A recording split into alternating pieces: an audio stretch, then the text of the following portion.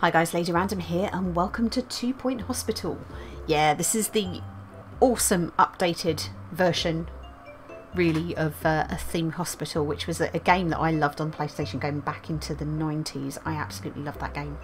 So I thought we'd, we kind of get play. It's only been out a few days so uh, we're quite early in. I know there's been a few sort of let's plays that uh, people have had early access have been able to to play. But I kind of thought, hey, you know, I love Theme Hospital. Anybody who's been following the channel for the last sort of three years or so may remember that I did do, albeit a handful of episodes on uh, Theme Hospital that I downloaded from GOG. But this is set to be way better. So let's dive in and let's start a new game. There is um, a bit of a cutscene kind of at the beginning that's kind of amusing. So I'm going to leave that in before we start the hospital. Um, and hopefully we can get building and try and sort of complete our initial hospital. So it might be a little bit of a longer episode just as it's the, uh, the first one. Uh, but let's dive in and let's see what happens. At Two Point Hospital, over 52% of our patients believe they leave healthier than when they arrived.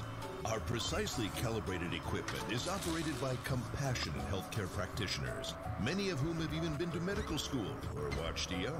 If you suffer from turtle head, let us ease your worries and noggin gently out of your body. Mmm.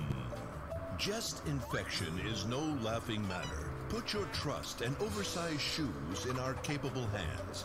We're building a brighter, safer future, and hardly anything will stand in our way. You deserve the best. So join us at Two Point Hospital. We're open for new staff, new patients, and a new you. Can I go play golf yet?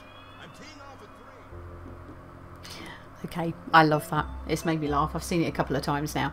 Now I have played uh, a little bit of this, really just to kind of get used to the controls. What I don't want to do is make this a whole kind of how to control everything kind of tutorial. I just want to kind of play the game um, and just enjoy it. So I'll probably try and skip over that. But we're going to open our first hospital in Hogsport. Um, so let's click to get started. So we'll just wait for that to pop up. There we go. So let's start Hogsport. Um, we're going to build our very first hospital in Two Point Hospital. So yeah, we're ready to go. So I'm not going to, as I said, follow all of the controls and everything like that. This will try and sort of give us a little bit of a a steer. So we've kind of got a few little tasks, as you can see in the upper right hand corner, that we need to complete. Uh, but first of all, we need to build a reception desk. So we've got all of our items, rooms, and our uh, sort of recruitment things are all sort of down in that bottom left hand corner. So let's put our reception desk in to start with. Nice and close to the entrance so people don't have to walk too far. And let's get ourselves a receptionist. Now each of the um, each of the employees will have attributes. So obviously they see they've got a star rating, we've got their salaries, but they have different skills. So we've got uh, reception and retail skills here. We've got happiness. We've got speed and efficiency and uh, yeah, sort of motivation. But I'm going to go with with Osman. I I quite like the sound of Osman. So let's pop Osman down. So we've now hired our receptionist. So of course if we're going to have a hospital we've got to diagnose stuff. So we're going to need a GP's office to start with. So all these are pretty easy to build. They're pretty much like a sort of dragon dragon click. We can make the rooms sort of much bigger. Um, let's pop our door here. Uh, yeah, let's pop this. We'll pop this here. Nice filing cabinet in the corner. As you can see, we've got lots of room items that we can actually put down. So we'll pop fire extinguisher down as well. And always, we love we love a plant in this, so we'll get that get that plant down. You can see there are extra items here. Um, but we need to actually unlock those and it says K next to it but I'm sure it actually tells us a little bit about that as we go there we go. So let's build that room. So that's our first GP's office. But of course, if we're going to have a GP's office, we need to hire ourselves a doctor. Let's have a look and see what we've got. So we've got somebody who's great at diagnosis and somebody who's great at treatment. I think probably at the moment we're in diagnosis. So none of them are great, but Roger Catnip. Roger, you are our man. So hospital is now open. Happy days. So we can start actually uh, sort of diagnosing people, but let's try and build ourselves a bit of a decent reception area. So let's have a look at the items that we've got. So one of the things we need to try and get is is sort of drinks machines and snacks machines because people like those. But if we're going to have those, we want to have a bin. Um, we definitely need benches for people to sit on. That's not going to let us because of that door there, is it? It's quite annoying actually that you can't get get them any closer, but why don't we see if we can rotate these round a little bit. And we'll start putting some benches down. Just across there. A nice leaflet stand. Because everybody likes a leaflet stand. You see down in the right hand corner at the bottom let's very quickly let's stick a stick a plant in as well. If you look at this, you can see that the plants are, are something that increase happiness in that area, so that makes that quite a nice, quite a nice place.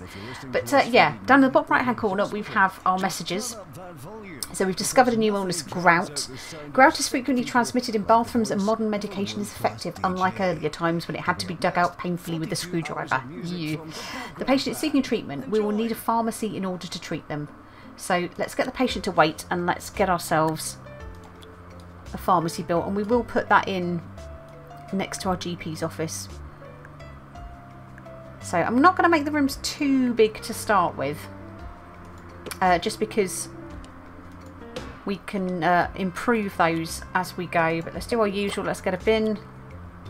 Let's get a fire extinguisher and let's get a nice plant in there. So it's a nice place to be and a filing cabinet as well because we kind of want them to keep all of the records of the uh, the treatment that they're giving. Now with that it shows here that we actually need a nurse. We need to find ourselves a nurse so let's have a look at nurses and see if we've got anybody particularly good. So we've got Marnie Steele, uh, great bedside manner, very motivated, pharmacy management which is ideal so I think let's put Marnie in there. So she's going to be pretty good actually for... Um, oh wow, that bench. Let's pick that up and try and put that back in a more sensible place. Uh, we'll get ourselves a couple more benches. It looks like we will probably get another one in here now. Can we? Is it going to let us put another one down? No? Okay, well that's fine. Put a bench there and a bench there. So we've got some waiting space outside the pharmacy. Excellent. So that's our first patient cured by the looks of things. So we've cured our first patient.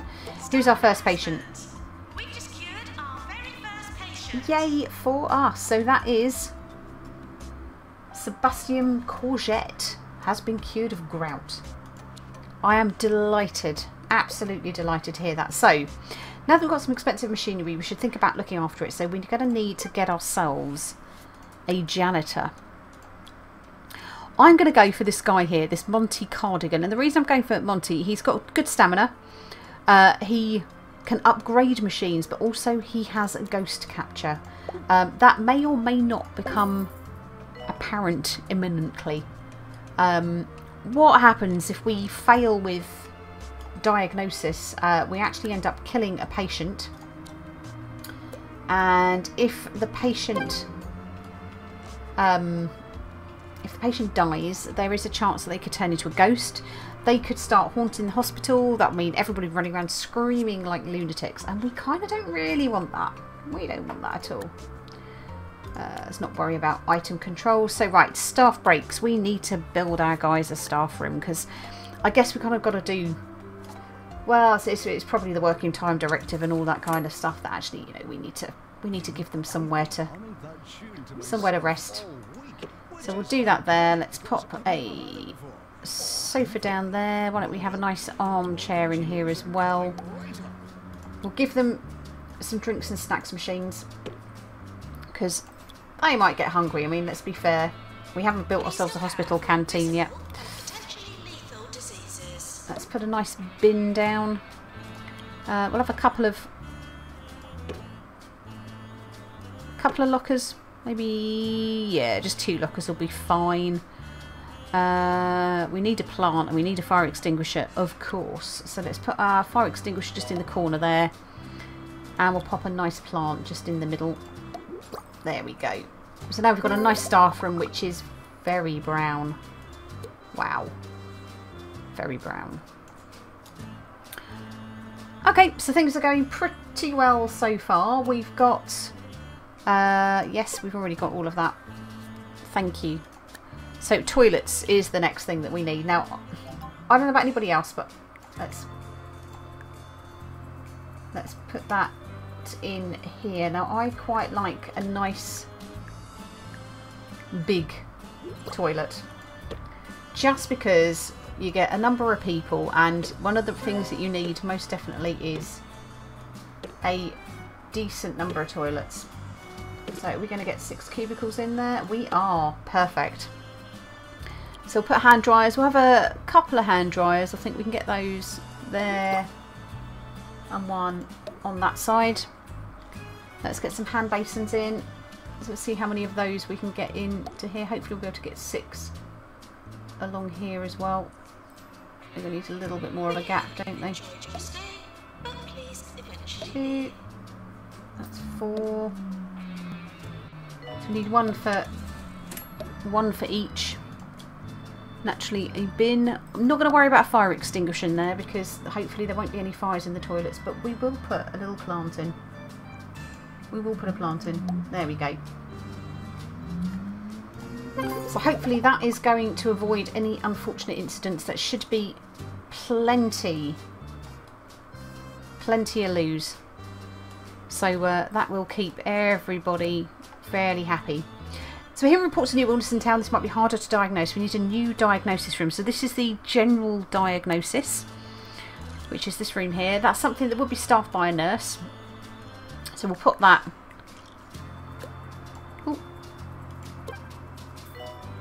Oh man, come on. Is that going to let us expand this? We need to put add some more to the room here. Let's build this in. Lovely. So let's put our door in. Let's put our door here. Then we need our easy scan cart, which we will put here. The examination table, which can go here.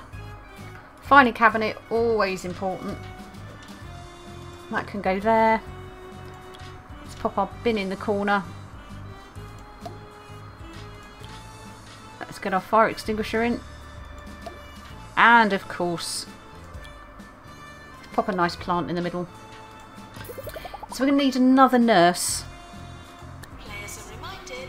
to look after that. So nurses. So we've got Denise Pugwash. Uh, she's quite good with pharmacy as well. So yeah, we'll take we'll take Denise. We'll pop her in there for the moment and see what happens. Right. So we've got a new illness. We've got clamp. Our doctors have discovered a new illness clamp. Once this grips a patient, it doesn't let go. It afflicts many living statues and selfie-taking chumps. We'll send the patient for treatment in pharmacy. That's good. That is good. And a staff promotion. Do we want to do we want to give him Roger catnip? Do you know, let's let's promote Roger. That'll keep him happy. Okay, why don't we have a quick look at the uh, the pharmacy animation while we're here. So we are trying to cure at the moment Dave, and Dave has been diagnosed with clamp. So let's see if this helps Dave. And the news today. Conditions at the Rotting Hill Hospital are getting worse. Perfect. We have cured Roger. Excellent. So we've now unlocked the ward. Amazing. So we can now put a ward... There's a peculiar new illness in town, lightheadedness. We're going to need some expensive new equipment to deal with this. Continue expanding the hospital to unlock the treatment room. We may also need another GP's office and some more staff. Okay, so why don't we put in... Let's put in the ward to start with. I kind of want a ward over here. I want a nice big ward uh, yeah, that should do nicely. So put our ward door in. Uh, let's put the ward door in here. Let's have our nurse station there. We'll rotate this because this will be where they'll get get changed. Then we'll start with the beds and see if we can try and get six beds in. We all want them nicely, nicely lined up. Like so. I want lockers. I don't think these lockers are actually for the nurses or for the patients, but I kind of like to have have some lockers for everybody. Let's try and get these all nicely lined up.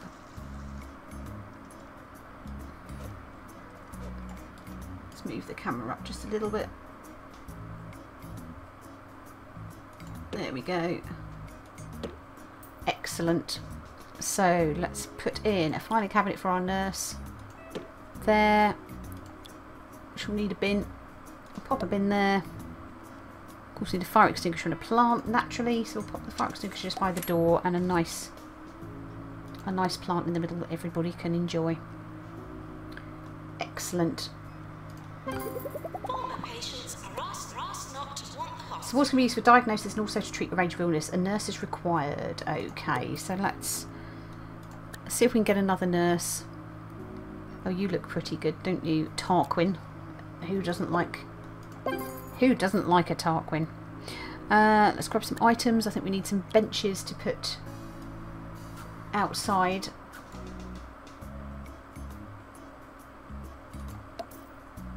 Just in case we get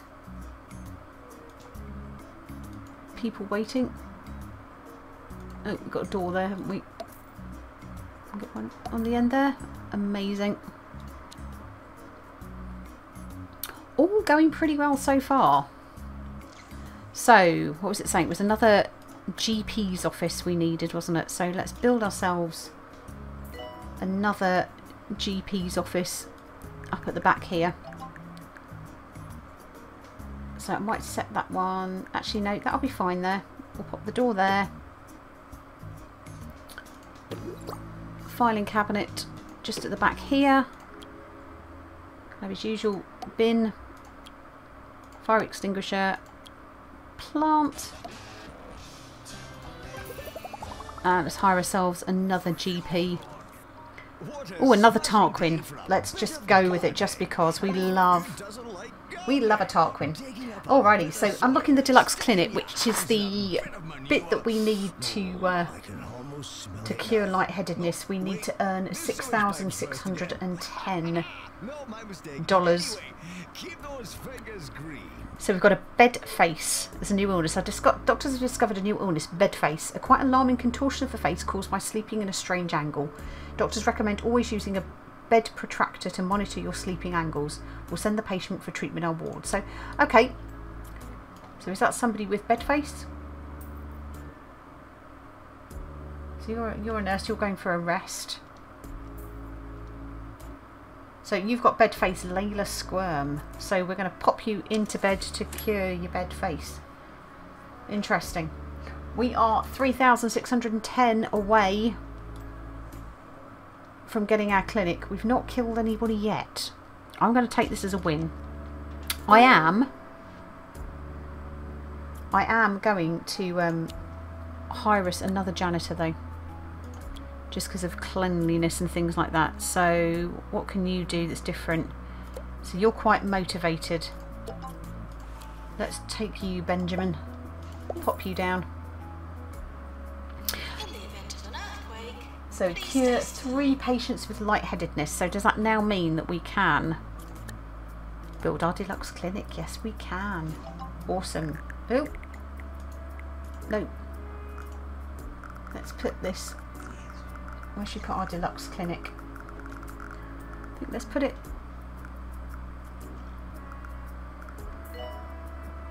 Do we want it here? But let's add to it.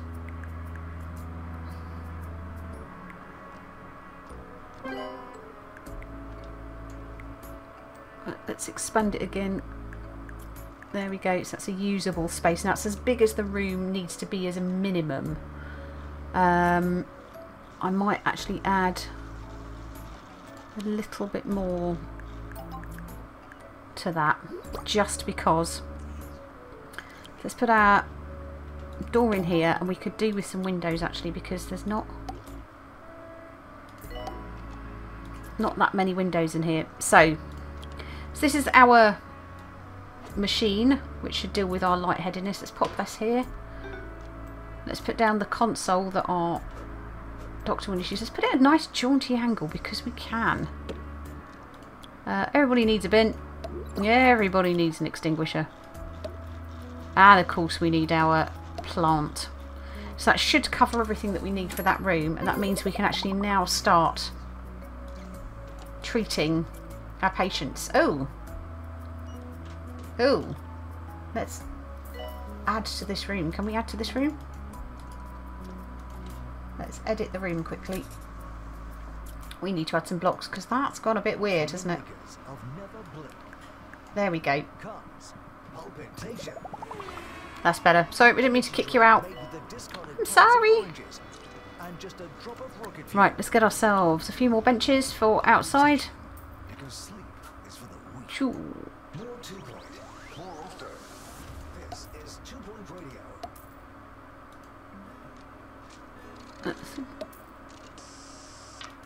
There we go.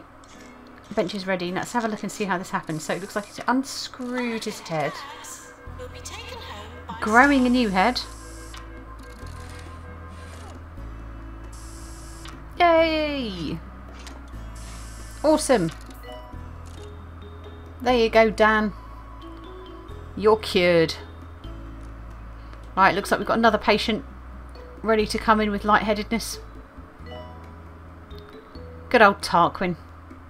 Right, so who we got this time? We have got Lance Tennyson. Or Lance Tension? Tension? Lance Tension. Right.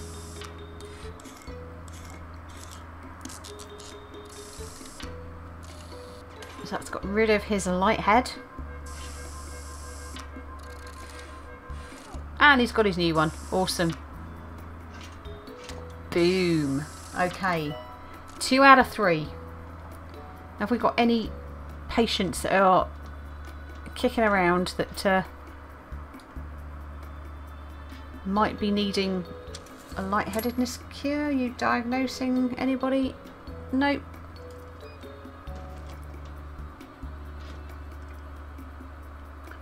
Right, so we've got our nurse in there.